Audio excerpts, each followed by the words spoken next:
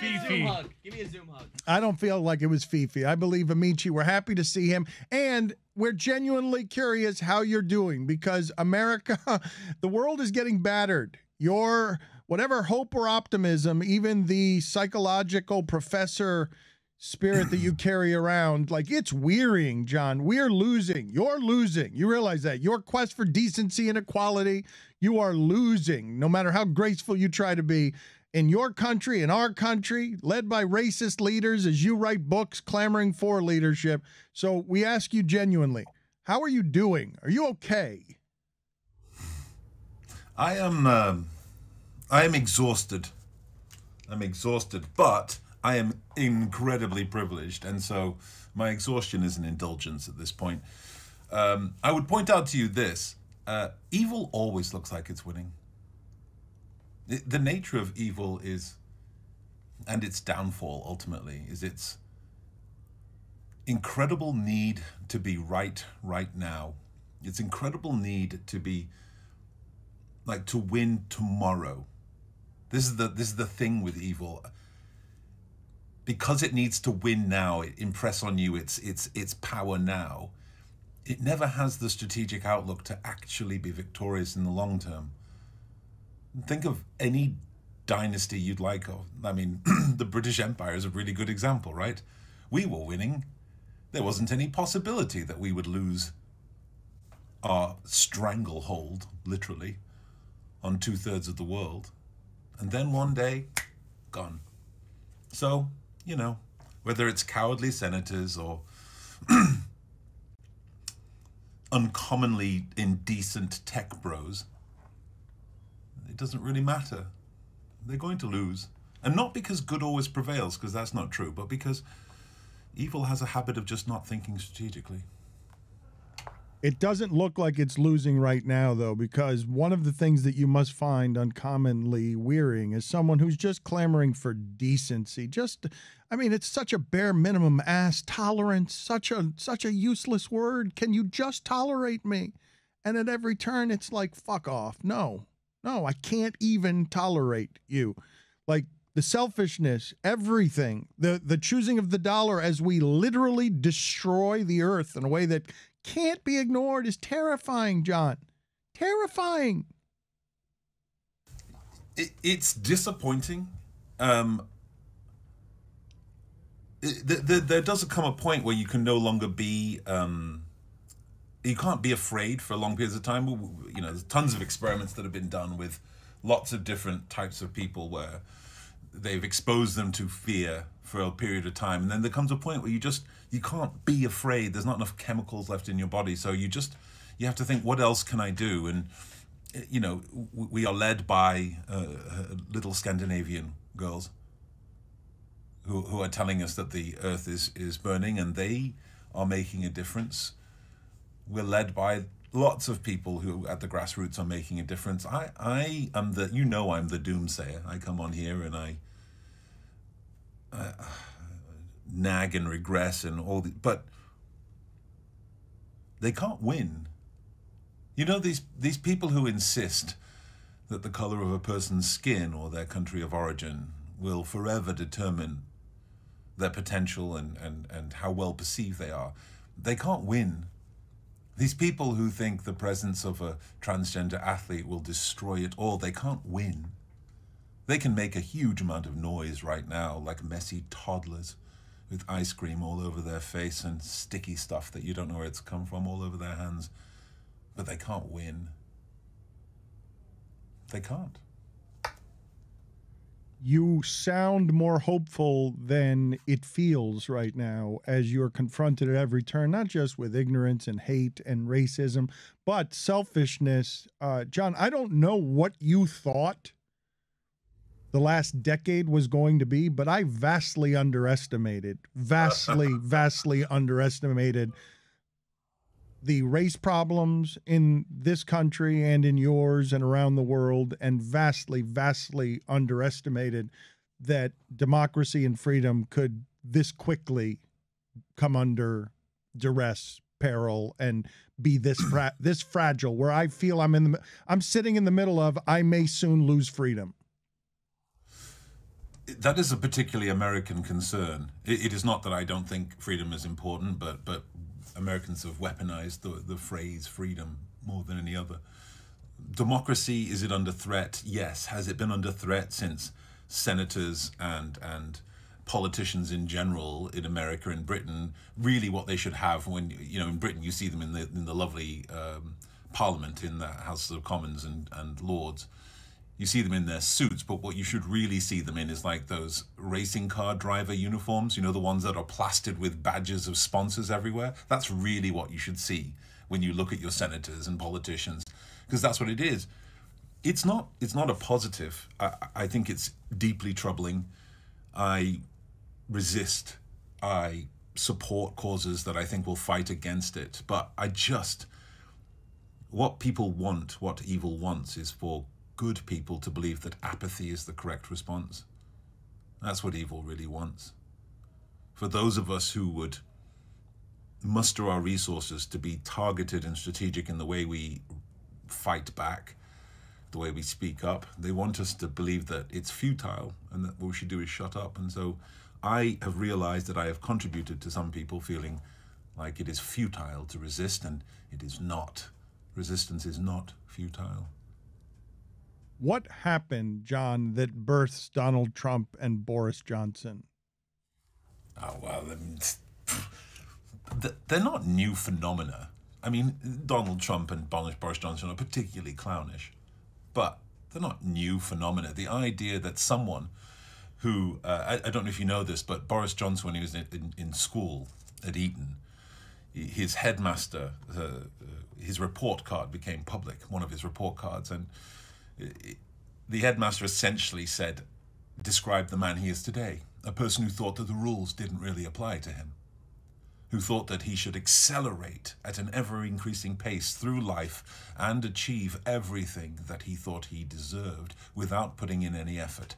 And that that is that kind of unearned privilege, that that kind of arrogance of station defines people like Donald Trump and Boris Johnson people who love to tell you the story about how they're self-made but forget the bit about their father giving them 3 million dollars. Forget the bit about the school that they went to that no one else could have gone to and the privilege that that earned them the bullingdon club that they were a part of. You, do you know the bullingdon club when boris johnson was there? It's a it's a it's a posh kind of posh blokes.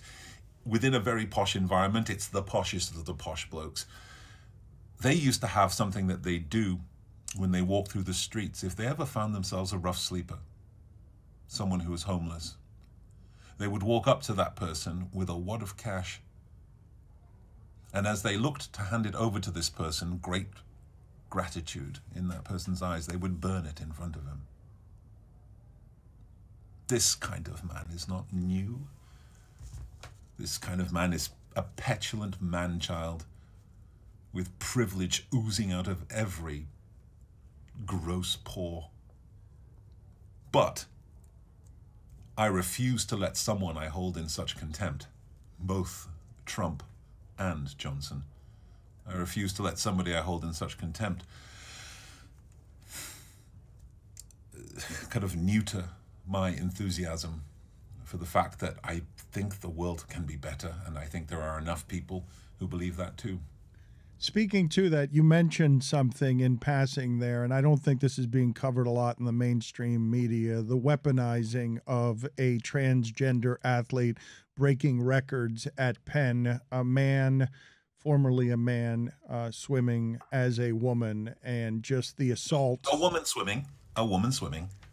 Uh, yes, understood. But you understand how this stuff gets weaponized, and I you, do. And but it, it's because it's it, you know it's it's stupid. The percentage of transgender people in the world is so small, so shockingly small that to focus on that group is in and of itself a signal that people are reaching to try and find ways to polarize. Uh, you know, uh, what I love m- more than this is the fact that uh, we're talking about women's sport here. And everybody in this room knows that despite the fact that we all know utterly remarkable athletes who are women, utterly remarkable women who I, I certainly my career is owed to a woman who was Susan Robinson, who was a, uh, an All American at Penn State, She was just amazing. The spin move that kind of loosely kept me even viable for the NBA is something that she taught me.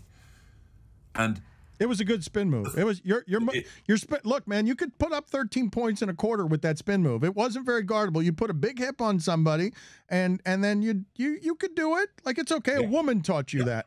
Yes, yes, she did, and and and I've told her many times how grateful I am for this and the time that she spent with me when I just didn't get stuff because I was so late to the game. But the thing is, here we are talking about how a transgender person is going to spoil women's athletics. And the thing that frustrates me is most of these men, and it is men talking about this, most of these men, they didn't give a shit about women's basketball or women's sport five seconds ago. They've never once thought about Title IX and how women deserve to have some kind of recognition for the effort. They all work just as hard to end up in a situation where they get remunerated like somebody who works at Hardee's. This is where were these people? Where was their indignation for all of these many years when women have been left without for the same effort put in? And now, now when they think it's a culture war issue, now they want to get exercised, excited and exercised about this one athlete. No, I won't give them that. As if you'd change genders to dominate Penn swimming utterly ridiculous. And you know, the thing is, we only ever see it this way, right? We only ever hear this conversation about transgender women.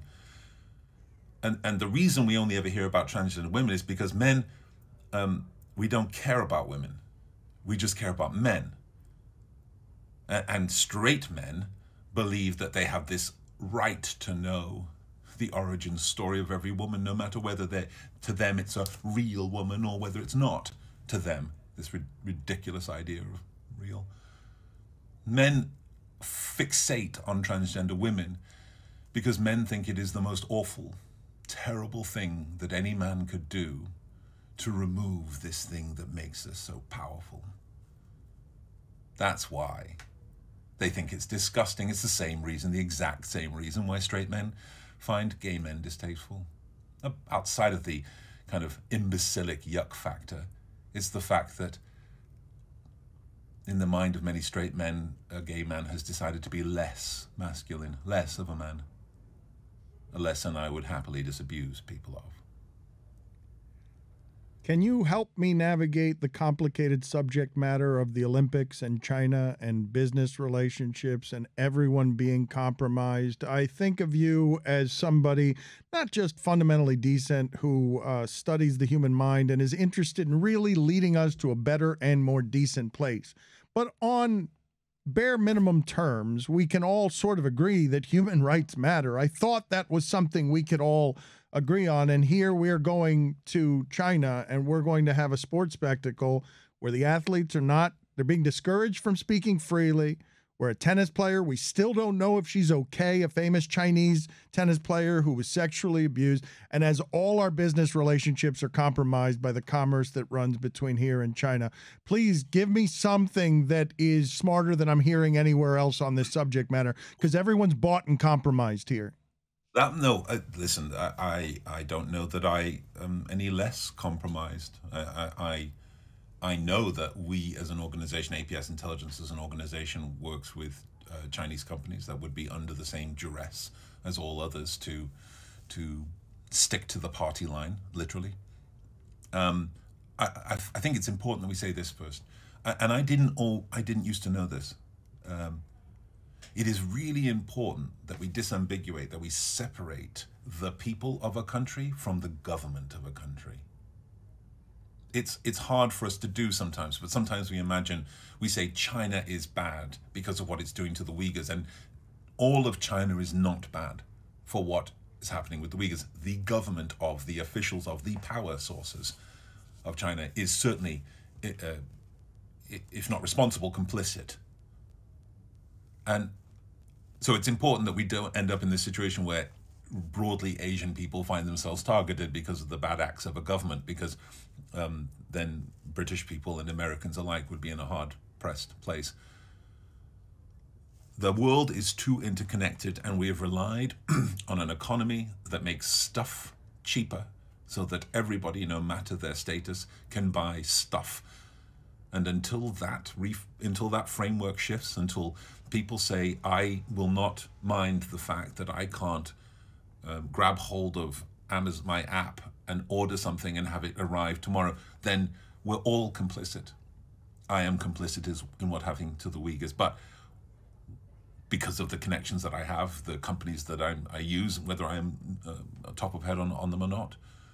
When it comes to sports, I think there is something different here. There's an additional layer, which is that I, I mean, Amazon, as much as it claims to be a warm and fuzzy company, I think anybody who forces their people to live in cars while wearing um, nappies at work is, is probably pretty compromised. But sport claims that human rights uh, are, are, are unassailable. Sport claims that sport is a human right. Sport claims that it's a vehicle for change. And yet, the second it meets the mildest resistance, it, it falls over. Sport claims that it cares about human dignity, and yet, when it comes to football, for example, uh, British soccer as opposed to, um, we've got a World Cup that's going to a country where three, well, more than 3,000 people have died. 3,000, mostly immigrants, have died in the making, in the building of that, of that stadium.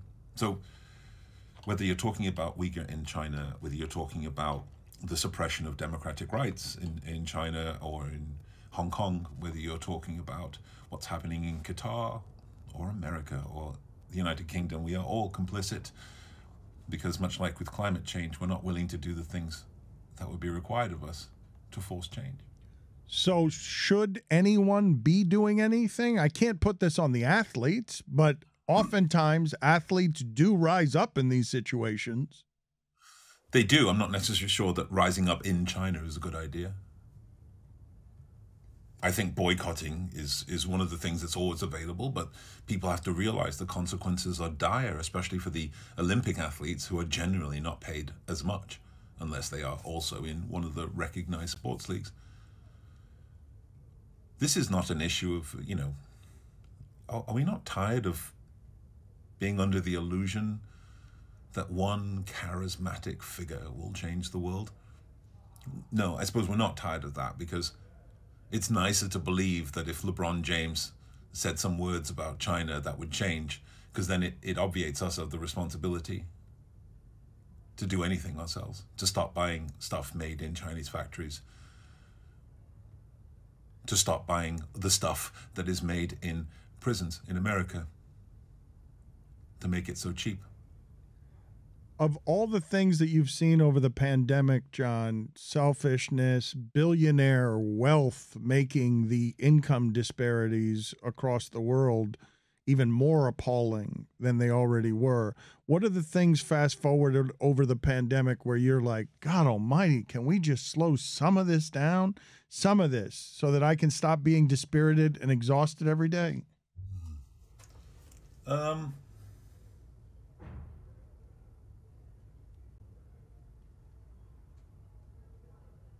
I, I um, this is so. This is what I saw over the pandemic, Because right? I, I I retired from the NHS in December. I didn't get, didn't get a chance to talk to you, but yeah, I left after ten years. I, I retired.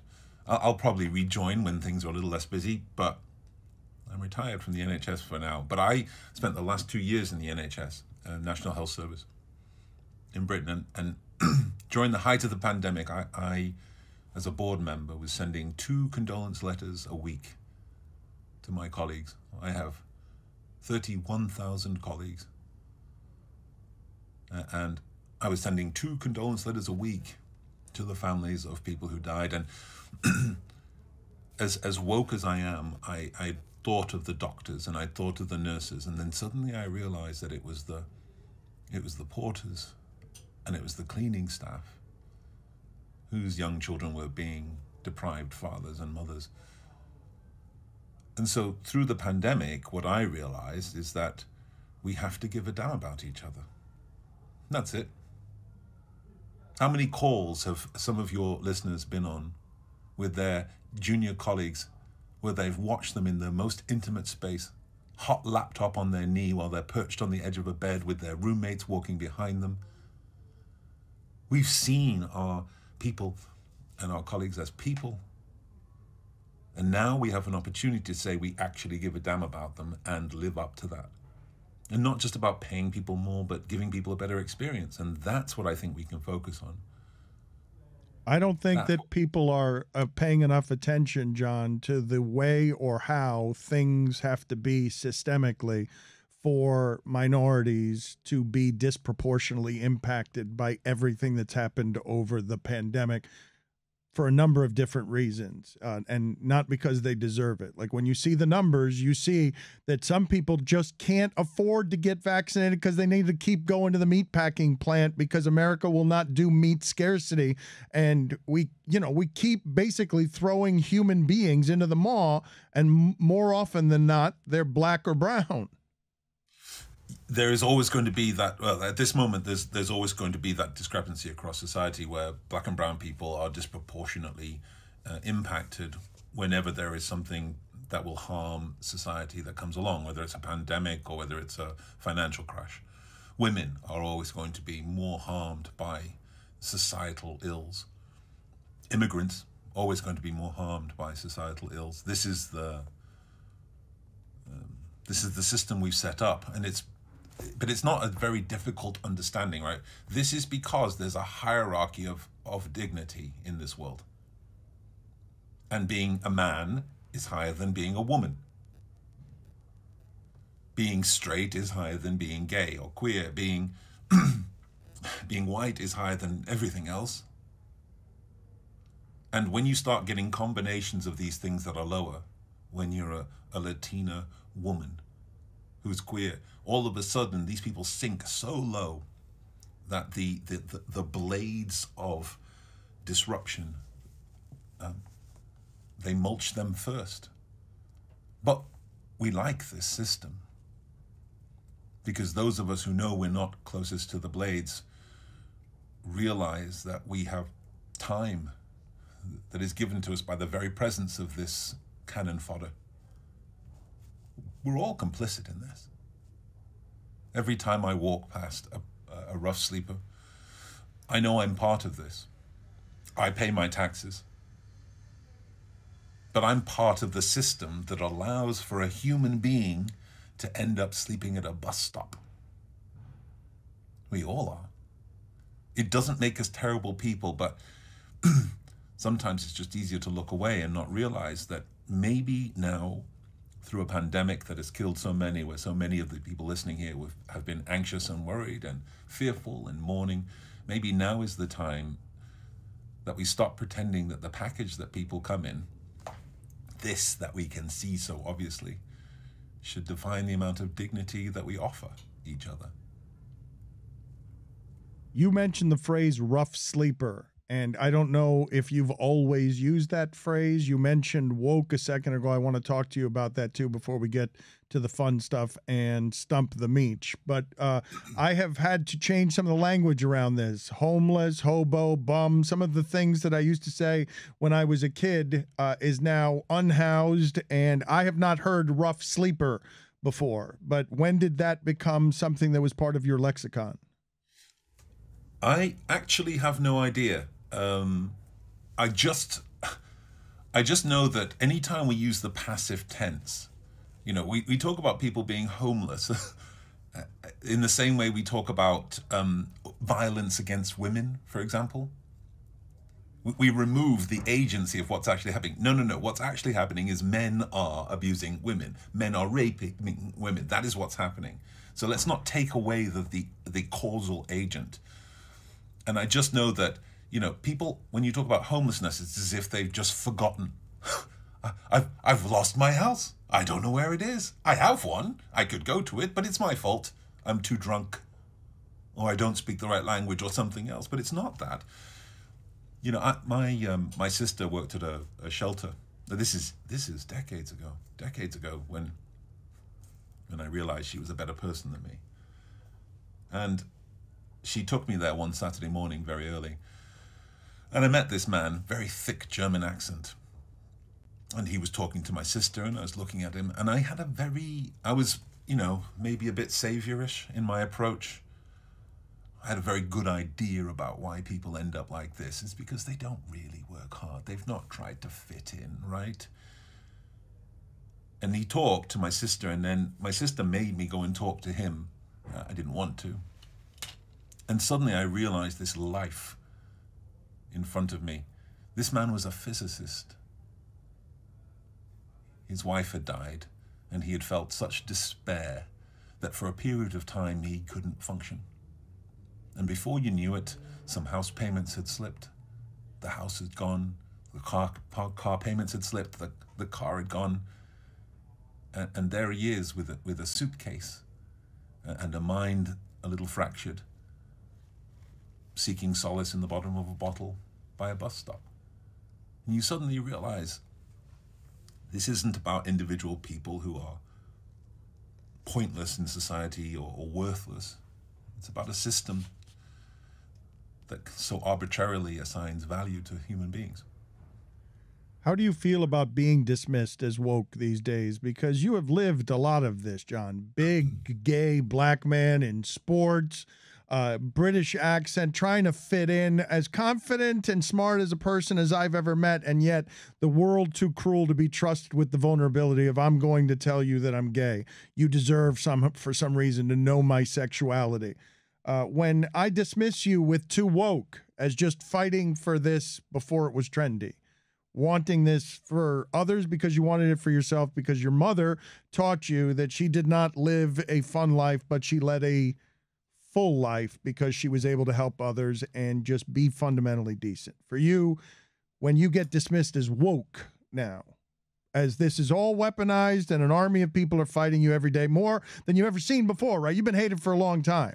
You're big, mm-hmm. big, big gay black man who thinks he knows more than everyone else because he usually does, and has you the. Saying that, you're going to find me a date and, um, and has the ego to show it too, and has the ego uh, believes he's smarter than everyone in every room that he walks into, and is constantly constantly disproven by a physicist who makes him learn and humbles him. Exactly. That's the thing. I mean, being smart is about being open to learning new things. That that's all it takes to be smart. To realize that you don't know everything is is all it takes. Um, woke, yes, woke is a device used by ignorant people in order to shut others up. It's a, it's a mechanism uh, to make you feel guilty about caring. Woke in your dictionary, is that Merriam Webster? Um, is well informed and up to date. The second definition underneath it is alert to injustice in society, especially racism. And, and all I know is that when somebody uses that as if it was a pejorative, I know that they are trying to silence me if anybody uses it against me, like political correctness, they can use those words around me. I simply know who they are. They have identified themselves to me, and they have ensured that I am going to be more vociferous and louder, more accurate, cleverer. Because I know what they want is my apathy, and I shall not give it to them. They want my silence, and they shall not have it. Even though you gave it to them right there with an awkward silence that allows me to sell his book right now as yes! we as we transition into Stump the Meech. It is The Promises of Giants. This man, if you like what it is that he does or has to say, I tell you, he is as eloquent as anyone I've ever met. He's uh, he'd love to write. I don't I don't even understand this part of you because you're a very busy man, but there was something about writing that spoke to you and it's very difficult, but you do a very good job of conveying complicated thoughts and this book is necessary right now. I don't mean to sell it or shill it so overtly, but you wrote this book essentially because you see an absence of leadership everywhere, and you're just asking everybody, please lead a little bit. Please, yes. people, just you lead a little bit. You can do something. I promise you. Just a touch, just a touch. Blah, blah, blah, blah, blah. You guys done fixing the world already? yep. You ready to get your ass kicked, Meech? Legit good work here. Yes. Uh, what's what's interesting matters. The, so the joy that you take in this, I, it used to be. I, I, I feel like I, I might be turning a corner here. Therapy might be working. I, I the joy that you take in my absolute destruction, in and of itself, makes me happy because I know at the end of this, even if I fail, you will be overjoyed, and I've done that for you. You're welcome. You want to know what happened, John? For You're welcome. Your, for for all Michael, your Michael. Thank you. Michael. For all your brilliance. Welcome. For all your brilliance, you showed your true colors the one time you got lucky in this game. And if you give someone success, they'll show you their true colors. And I did not. It's been three times. Hooey. You won. Uh, this is how I remember it. He's now made it. It used to be two. He was arguing for, and now he's made it I three. have won three times. What I recall is this is all I recall. And honest to God, I'm not trying to doctor the record book. I recall that during the pandemic, E ESPN wouldn't send us a goddamn microphone. We were broken as a show. And Mike needed to find some sounds because we had no content. I think we were talking about Tiger King for for about four straight days. Yeah. Remember that? I believe we shouldn't have done that. That's a terrible mistake. Doc Antle Doc Antle is not only someone who is terrible person. I know this now, who uh, did terrible things to women, but also might be a murderer. That's we did not know that at the time. We were starved for According to content. others, don't put that on him. we don't know. According to a documentary about his life in three parts on Netflix. But you beat us because we were Hey, broken. we report. You decide. we were broken during the pandemic. Broken. and and you beat us because we couldn't find enough sounds because our library wasn't even working. Right. Big asterisk. Dan, Dan, Michael, you're welcome. I don't know what you're trying to do, but it's working. All right, let's do this. Five. But I'm still gonna kick your ass. And it's a supersized version of something meets. We're going with seven clips here. Oh, good God. All right. How about how confident are you? Jesus, seven clips. Are you confident enough, Mike, that if you think this is going to be an ass kick- kicking, are you willing to declare him a winner if he gets three because of the Ooh, no, degree three of. is too much. But I was because I'm so confident. I was gonna say if you merely get two of these seven right, I would deem you a push. If you get three, you win the game. So you are willing to do that. Yeah. Oh. Yeah. Okay. No, he was so kind with that thank you thing. It was weird. All right. Are you ready? Yes. He he really manipulated you. You're Like I've been welcome. Hypnotized into doing I know. You- Are you ready now? I've To- change the math. usually the first one is easy. It's the easiest Usually, if one. you get more wrong, what what is happening? What is the first sound for John Amaechi on a Stugotz mispronunciation? opportunity. Opportunity. So I want to say opportunity. Opportunity. Do you want, Opportunity. do you want to say it or are you saying it? There's a, toot, there's a tootie in there. Yeah. Opportunity. Uh, do you want to say it or are you saying it? No, I'll, 'Cause I'll it- go with opportunity. Okay, because it sounds like he tripped over the second P, and, and the second P made him hit his chin on a speed bump of, of- Opportunity. made of cement. Uh, but I also think it's opportunity. Opportunity. So your final answer? Yes, that was his Yes. final answer. Oh my God. A strong start by Amaechi. Oh, wow. There are six more, and Chris Cote's laughing back there. start. Okay, so That's all you're gonna get. okay, taunted from another side of the room. Did you did you collect this batch? Hmm. I enjoy this game. Uh, let's get the second It's one. It's almost as if every game has a running theme. Almost. Here's your second option. Eh, eh, eh, eh, it is a it's a rat. It's a ribbit. It's a frog. And, eh, and it's Stugotz as a frog. eh, eh, eh, eh, eh, eh, eh, This is my haunted nightmares outside my window when I'm sleeping at night. eh, eh, eh, eh, A eh, frog with eh, eh, Stugotz's face on it.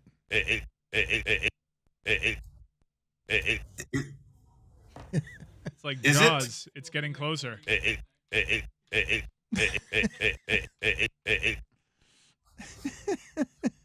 um, I, I don't know. Is it? Is it? Is it? Yes. Is. Just is is. I feel quite good about that. I feel quite good about that. Okay, I was I was in the ballpark. Yeah, not far away. The third one for it. I Iron It I order it. It sounds like something he'd shout at you by going uh, past you on a merry-go-round that's out of control. Iron it. It's got the Doppler effect built in. I order it. I Iron It I unar it. It sounds like Ireland, but I can't imagine any context where he'd need to say that. This is two words. Ah. Oh, a, clu- Iron a clue. Iron Iron My initial guess was Iowa. Iron I, I don't know this one. I don't know. Oh wow, just a quit. So he quits. It is him saying, "I order." I Iron Not, Oh, not too no, hard. No, I would never. There's not a chance I would have got that. Okay, but no, I now I hear it though. At least, at least I usually I can't even hear him anywhere in these. because- Iron yeah, that I can You see can how he would make ordered seven syllables. Iron All right. Here's your next one. Dut Dut Dut Dut Uh, Dut Dut uh, Dut Dut Dut Dut Dut Dut Dut Dut Dut Dut Dut Dut Dut Dut Dut Yes. Is it one word or two? It's a dance club. It's the word Mesopotamia. It's uh, it's one word. Dut Dut Don't. A good guess. Oh wow, that was a good guess. Didn't. Didn't. Dut, Oh, Dut Dut oh, Dut. you were Oh, my right goodness. there. You were So close. so close. This is your So this close. game of inches. Uh, Owie Owie it's uh, his last words uh, while being stabbed to death. Owie Owie. Owie. Yes. Owie Owie Owie Owie Owie Is it one word or two? One word. Owie Owie Owie Owie Owie I think I might hear this. Owie Owie Owie Owie Sounds like Maui to me or Cali. I can't tell. I was gonna go alley. It's without. okay. Owie That is that is quality work. That's Right? not That's offensive. That's not offensive. Uh, How many do we have left? You have two more. Oh, it's possible to win then. Yeah, it is possible. You've gotten one, and two's a push. You can push. Yeah, you can push. You can still win this, and you have that winner's mentality. You're welcome. I do. I do.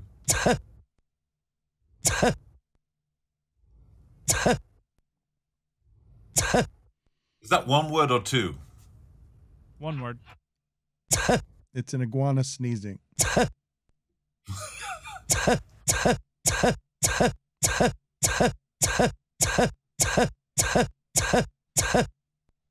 Touch. Final answer. Yeah. Top. I've noticed you're a lot quicker with the I got it wrong sound than you were with the I got it right sound. Well, I never assumed that you're going to get one right, so I, I have to look for it for Ah, a little bit. It's see. an Okay. adjustment. Top. So this is for a push. This that is was top, by the way. this is top. just for you not to leave a loser. You're going to be a loser here. The best you can do is not lose here. I can't leave a loser because I know the joy in Michael's heart when I go away. It's fine. First off First off Is this First two off- words? This is one word. Uh, First off You thought it was for sure as well. First off, first off, first off, first off, first off, first off, first off, first off, first off, first off, first off, hold on a second. That's a bit relentless. Hold on. So it's hard to know which one of the two sounds I'm supposed to focus on here.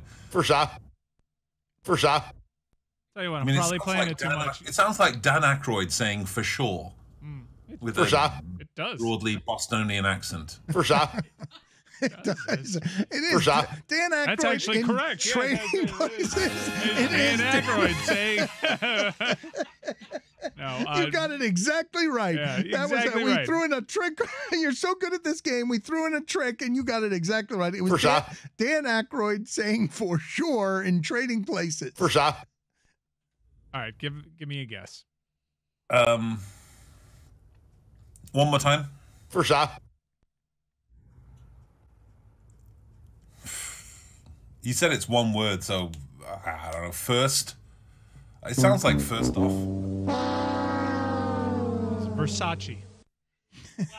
first off, You know what the problem is, and this is this is my fault. Um, There is no universe where I could have conceived of Stugot saying Versace. I I love the idea. I can give you a money ball one right now. Money Uh, yes. To win the Yes. whole thing? Yeah. To win the Yes. whole thing. Yeah. the juxtaposition the juxtaposition Is The that, that's just one word, right?